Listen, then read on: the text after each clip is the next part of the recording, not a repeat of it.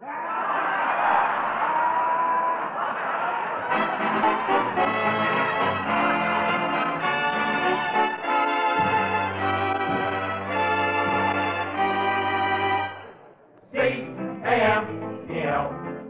Abbott and Costello program brought to you by Camel, the cigarette of costlier, properly aged tobaccos. See if your throat and your taste don't make Camel the first with you, too. Find out for yourself.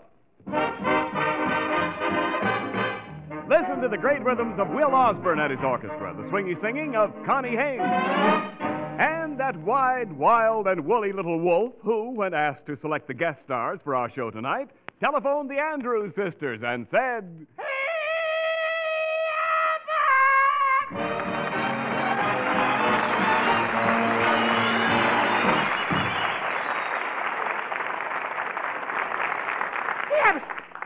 All right, Costello, Oh, calm Abbott, oh, boy, yourself. oh, Abbott. Calm yourself, Oh. calm yourself. Oh. What's making you so nervous? Oh, I just heard some terrific news, Abbott. You did? Hitler has a new secret weapon that can end the war in five minutes. A secret weapon that Hmm. can end the war in five minutes? What is it? A long pole with a white flag on the end of it. That's fine. That's fine. Now tell me, where were you all afternoon? Oh, where was I? Yes. I went out and got my Uncle Artie Stebbins. Ste- Stebbins! Stebbins! I go already. It's so soon in the script, too.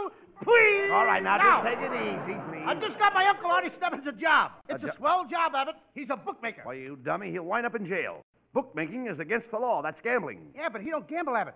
He's a bookmaker in a bakery. A bookmaker in a bakery? Yeah, he takes orders for cakes. He's a cookie bookie. Oh, Costello, I don't know which one is dumber, you or your Uncle Artie. Well, I don't like to brag, Abbott, but I am. Of course, Artie is lazier than me. No, no, you mean lazier than I. Yes, sir. He's lazier than the both of us. My Uncle Artie only says his prayers one night a year. Oh, he must be lazy. Yeah, the rest of the nights he just hops in bed and says ditto. Oh, let's forget, let's forget your Uncle Artie. Now, there's something I want you to do for me, Costello. Abbott, you know there's nothing I wouldn't do for you. And there's nothing I wouldn't do for you, Costello. And there's nothing I wouldn't do for you. I know, I know. That's the way it is, folks. We just go through life doing nothing for each other. Yeah, all right, look. Talk sense, Costello. I, I just wanted you to be sure uh, to behave yourself tonight because the Andrews sisters are coming over and you've got to be careful how you handle those girls. Yeah. They have scruples. I don't care. I, I've been vaccinated. I can't catch scruples. No, no, no, you dummy. Scruples are not catching. No? Scruples are principles. Scruples make a girl sweet.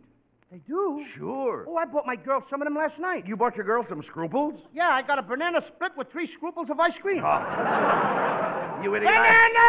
No, no, no, no. Look, ice cream doesn't come in scruples. Ice cream comes in scoops. I thought chickens come in scoops. Chicken scoops. No. That one later, eight. oh, Cos- Costello, scruples have nothing to do with chicken. Then how did the Andrews sisters get them? They didn't get them. A person doesn't get scruples. Scruples are a good trait. Now, do you know what scruples are? Yes, sir. When I turned in my Chevy for a Plymouth, they was scruples. No, what? What has exchanging your Chevy for a Plymouth got to do with scruples? Well, everybody said it was a good trait. Oh, well, let's forget about the scruples. I don't want to forget them. Abbott, you said the Andrews sisters had scruples. That's right. Did you ever see them? No, certainly not. Then how do you know they got them? Look, Costello, when I say when I say the girls have scruples, I don't mean they have anything wrong with them. Scruples are a trait, and a trait is part of one's character. And you can't see a person's character. Yet you know it's there. Oh, when you say they have scruples, you don't mean there's anything wrong with them. Scruples are a trait, and a trait is a part of a character, and you can't see the character, yet you know it's there. Now you've got it. I don't even know what I'm talking about. All right, all right, that's enough. Now, what do you intend to do with the girls here? Well, I am going to sing for them. You're going to sing with them? Yes. Costello, you know nothing about songs. Oh. I'll bet you Oh. don't even know Dixie. I do too. All right, what is Dixie? That's the place where they make all those paper cups. No, no, no, no, no. Look.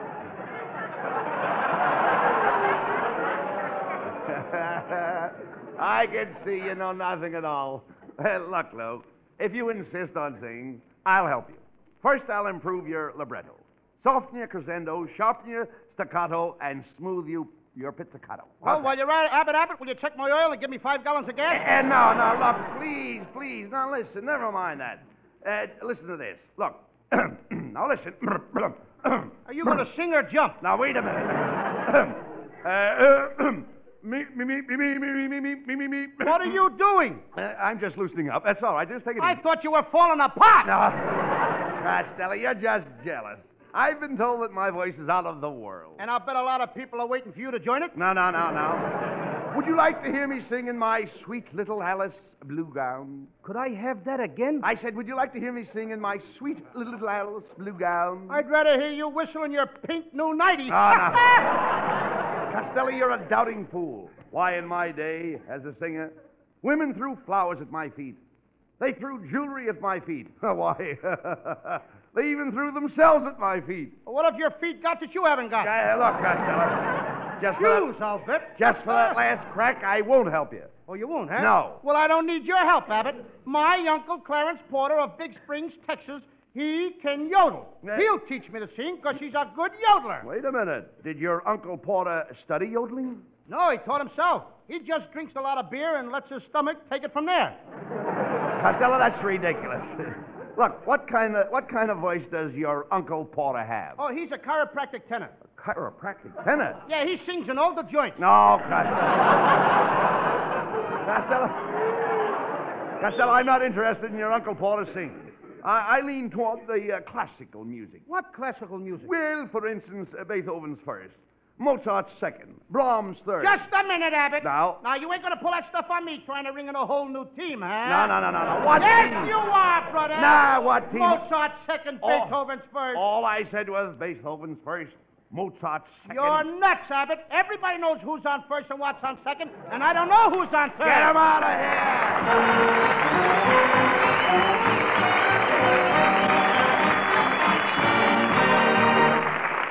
Midnight. A tiny island in the South Pacific, hardly a pinprick on the map. Hardly big enough for a small detachment of soldiers and the radar station they maintain. Day after day, nothing but a few scraggly palm trees and the horizon to look at. No amusement, no nothing. Boy, do you get bored. Picture yourself there at midnight, and a GI at the control panel turns to you and says, You got a cigarette? Would you give him one? Of course you would, even if it were the last cigarette in your pack. Remember that when your dealer says to you, Sorry, sir, I'm out of camels today. You are giving that guy in the Pacific or Germany or Okinawa or wherever he's fighting the camel he's asking for. Yes, the service first. Army, Navy, Marines, Coast Guard, wherever they go in the winning of the war, they get first call on camels. C-A-M-E-L-S. The service first.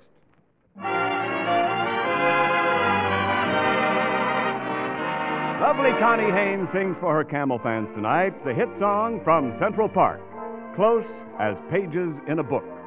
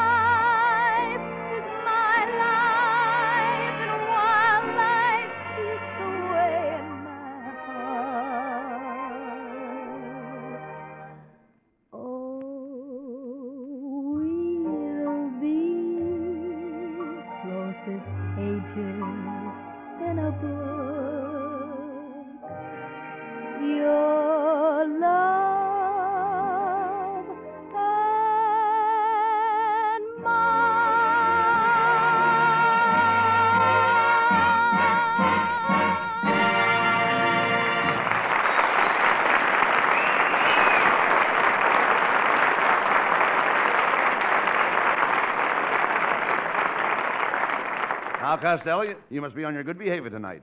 Now, do you know what to do when the Andrews sisters get here? Oh, yeah. I'll try and make a date with them. Oh, no, no, no, no, no. You'll do nothing of the kind. Besides, I know those girls, and you wouldn't get to first base. No, just give me five minutes and I'll be sliding into second. Come in. Ah, good evening, gentlemen. My name is Melonhead.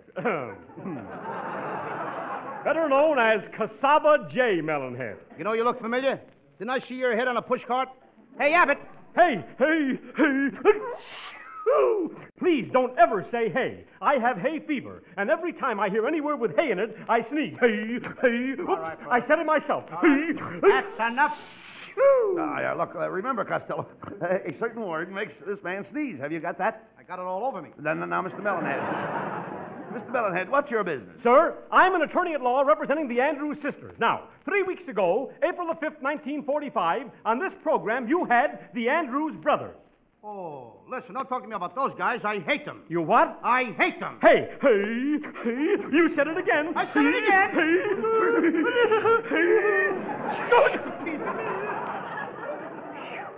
I'm awfully sorry. Hey, Abbott, the, the, the is run for the hills!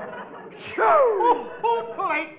Hey, Abbott, run down to the bank. Oh, but you have no money in the bank. Who needs money? Get me some blotters. Quiet, Costello.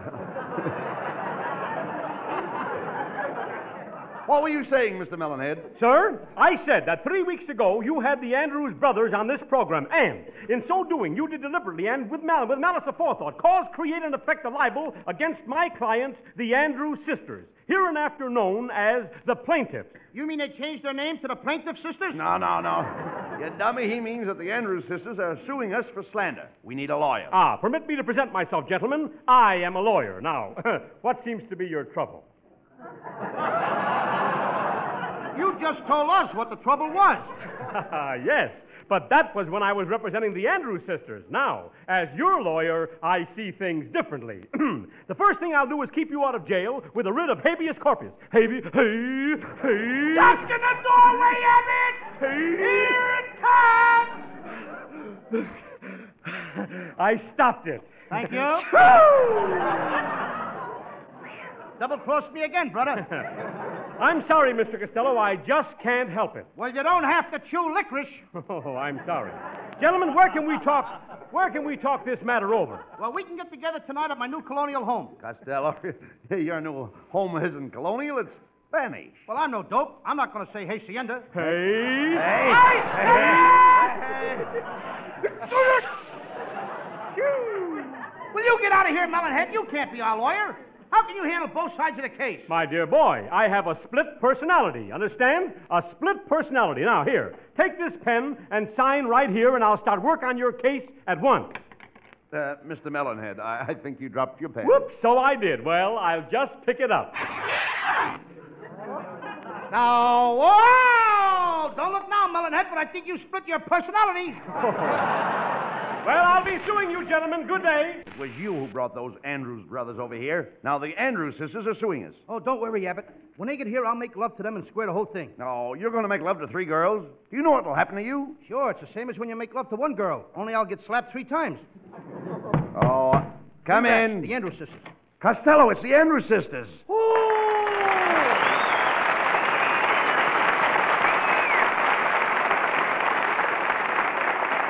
Aha! So there you are, you five gallon jughead. Abbott, I think she means me. Quiet, Costello. I'll handle this. Ladies, you must forgive Costello for his mistakes. After all, it's, it's not his fault that he's a dumb jerk. Well, uh, whose fault is it? Oh, this dame is dopier than me. Listen, Costello, we're suing you for $10,000. Uh, Miss Patty, I- I'm sure we can make some kind of a deal. Suppose Costello and I appear in your next picture. What about that? well, I don't know. What can Costello do? He doesn't look like an actor to me. Is that so? Well, I was born in a theater, and it cost my father 15 cents extra. What for? what for, Costello? What for? Huh? I say, what for? Well, the stork dropped me in a load seat. You're getting him too fast now. Uh, girls, Costello's a pretty good dancer. oh, yes, I can kick way over my head. Well, kick it over here and we'll get you a new one. You know I can sing, too? I sang with Frank Sinatra a few weeks ago. Sure, I remember. We were home listening to that show. Yeah, that's right. And when you sang Costello, why, my canary climbed down out of her cage and threw herself at the cat.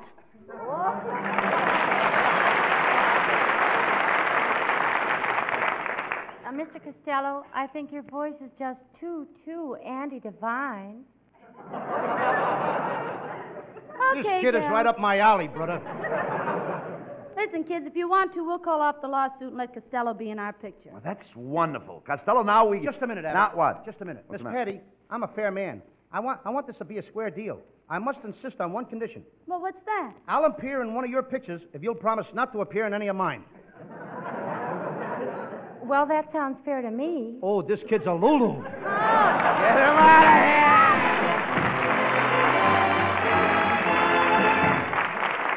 While our heroes Abbott and Costello were on their way to the studio to appear in the Andrews Sisters picture, our lovely guest stars sing for our Camel audience, I'm beginning to see the light.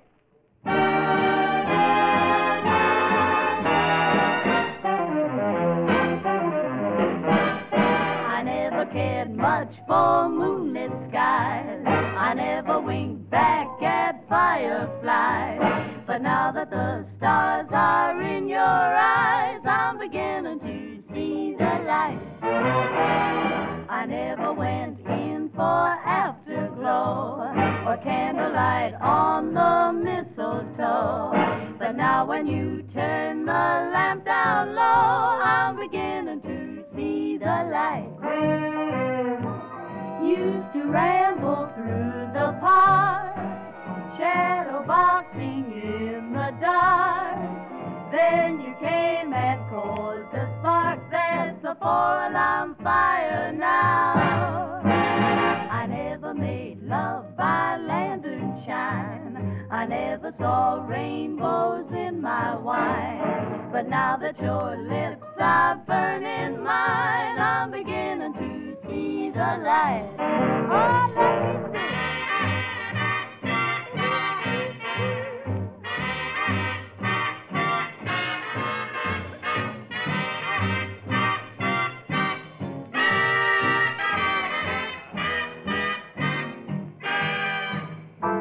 Used to ramble through the park, shadow boxing in the dark. Then you came and caused a spark that's a four-alarm fire now.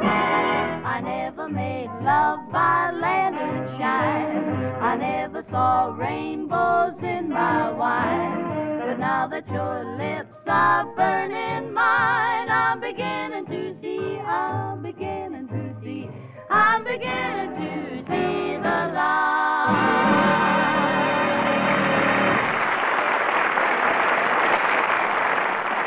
days, that familiar old phrase, costlier tobaccos, takes on a new meaning. You see, the demand for camels is fantastic. Dozens of billions of camels are being made. But in spite of this huge production, every single camel cigarette is still made of costlier tobaccos. Only the costlier tobaccos, properly aged and blended in the time honored camel way. Why, camels just wouldn't be camels if green, insufficiently cured tobaccos were used. This brand will not be sold down the river. You can't get camels every time you ask for them, but when you do get them, they're still camels. All the rich, full flavor and cool mildness of a superb blend of costlier tobaccos you expect when you light a camel. C-A-M-E-L-S. Camels, war or peace, camels are still camels.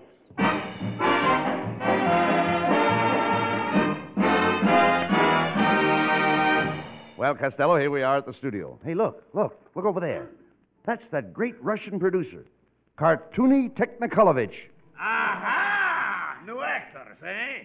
You, fat boy, stand where you are. Don't move. Hmm. Now turn slowly around. Hmm. Now move. Get out of here! But, Mr. Technikolovich, we're Abbott and Costello, and we're here to appear in the Andrews Sisters picture. Yes, sir, Mr. Technikolovich. I'm a pretty good actor. Yes? Yes, sir. What pictures was you in? I don't like to brag, but did you see the picture of Dorian Gray? I certainly did. Don't you think it was hung a little crooked?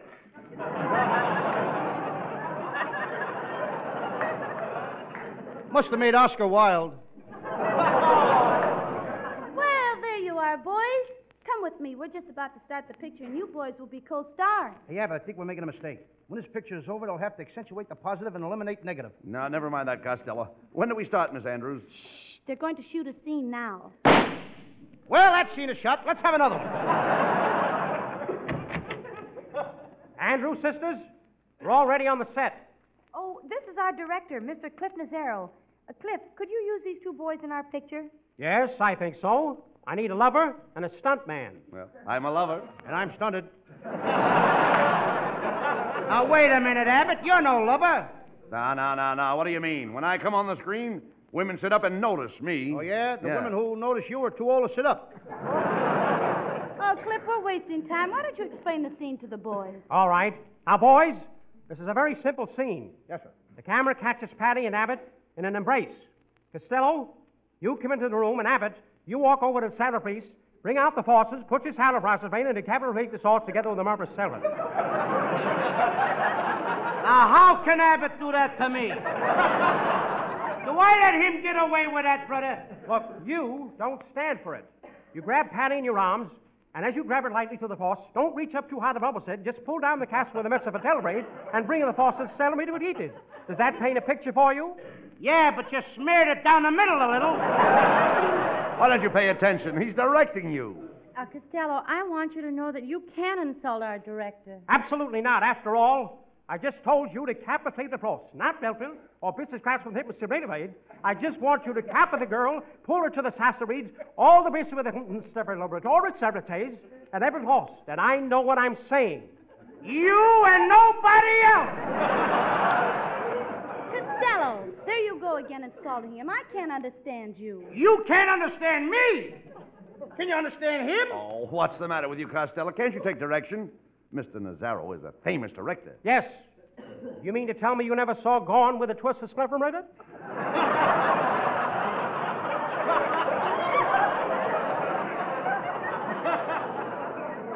and for whom the bells hold the castle of Frederick David Horton, then? I never saw them, but I saw Guadalcanal did it. You mean. You mean Guadalcanal did? No, did it. I seen it twice. Oh. Did it, did it. Yeah, all right. Will you stop that, please? Well, let's, let's get back to the scene, Cliff. Mr. Costello was just about to make love to me. All right, Patty. Now, Costello, look, listen once more. You fall in love with Patty and propose to her. So it isn't just a question of grabbing a horse and giving her that little cap to the restaurant. You grab her in the castle, lift up the Solomon, and go to the city retreat. Don't you agree with me? Yeah, but what about the children? No, come He didn't mention any children. Come on. I know, he could have. I don't know what the guy's talking about. Now listen, Fatty, I've got a reputation. Stretch! I've got a reputation.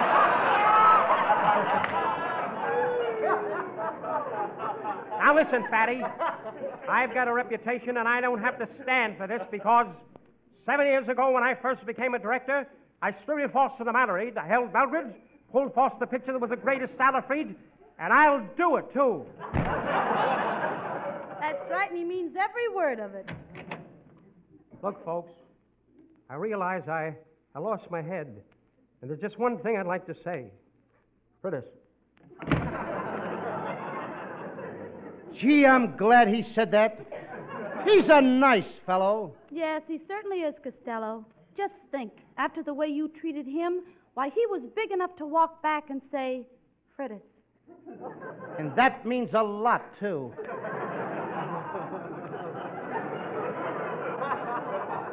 Yes, Lou. But what have you got to say? Oh, what can you say after Fridas? Fridas is a word. Listen, Lou, if you hadn't been so frantic when he came into Thraldon and Clissophade, he wouldn't be so Palestine. Palestine? What does he want from me? What does he want from you? Why, you've hurt his feelings. Why, at this very minute, he may be outside Gilfending. No. No, not Gilfending. Yes. No! Abbott, come on, quick. We haven't got a minute to lose. Where are we going? Come on, we're going outside and Gilfend with him. Ah, get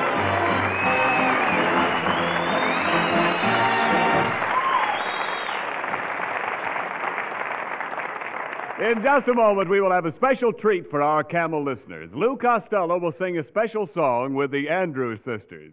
So stay tuned for the musical event of the season.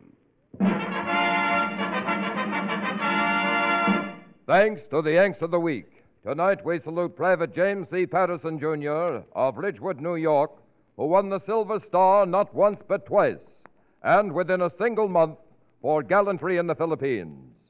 His first decoration was one for a foray behind the Jap lines, gathering information which led to the march on Manila.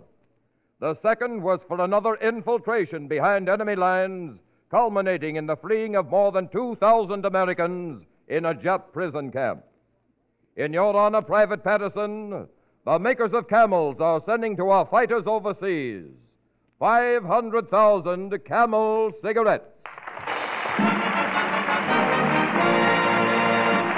Of the two Camel radio shows honors a Yank of the Week by sending free 500,000 Camel cigarettes, a total of a million camels sent free each week. Camel broadcasts go out to the United States twice a week, are rebroadcast to practically every area in the world where our men are fighting, and in cooperation with the Good Neighbor policy, also to Central and South America.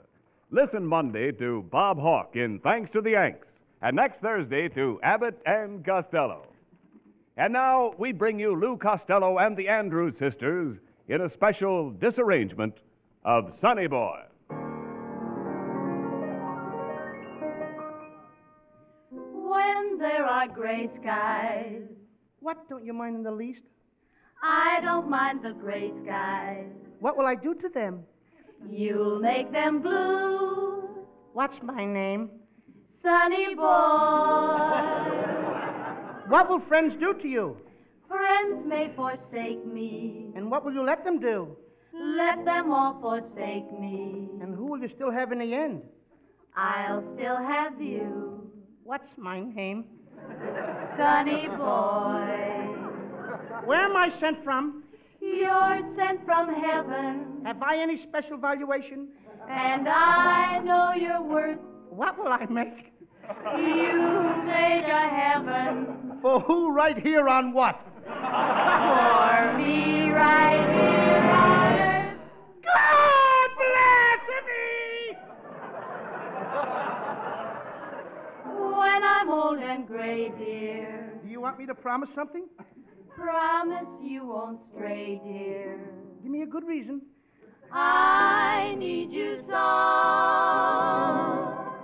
What's my name? Sunny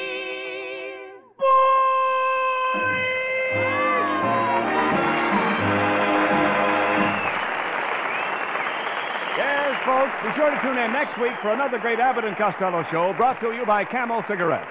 And remember, camels are worth asking for every time. See for yourself how Camel's mildness, coolness, and flavor click with you.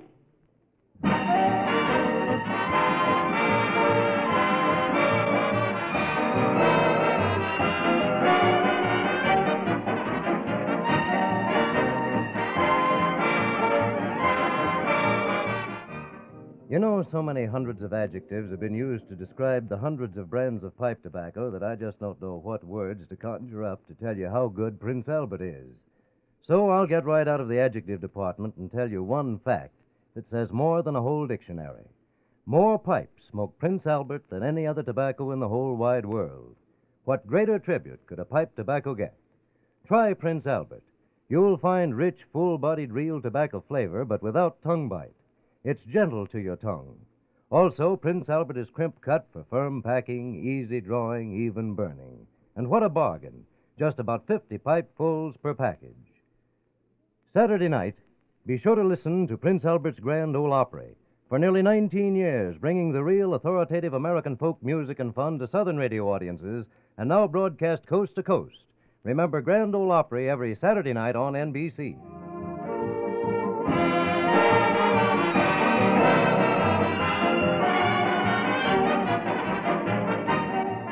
The Andrews sisters appeared by arrangement with the Nash Kelvinator Company. The Abbott and Costello Show for Camel Cigarettes will be back at this very same time next week. Don't miss it. This is Ken Niles in Hollywood, wishing you all a pleasant